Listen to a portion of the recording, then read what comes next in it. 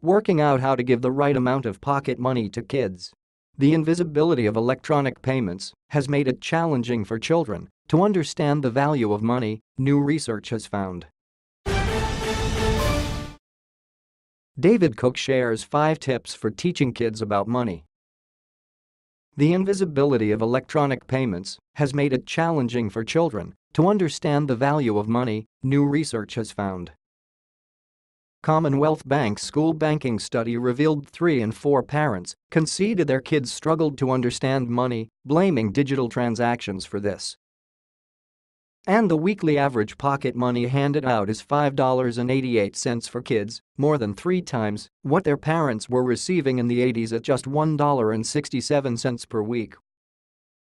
CommBank's head of school banking Veronica Howarth said it's crucial parents clearly explain how money works and highlight that it's something you must work to earn.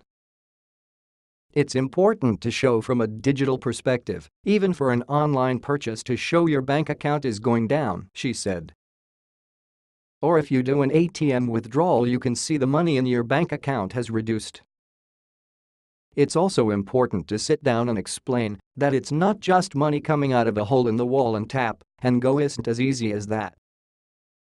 The report found about 4 in 5 children are expected to complete chores to earn pocket money, and many are trying to save for big-ticket items.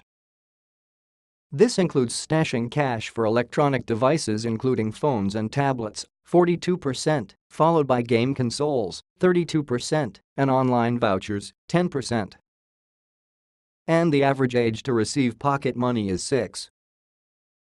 AMP financial planner Diane Charman said it pays for kids to keep a ledger of their pocket money to help educate themselves. It helps to write down what comes in and what goes out, she said.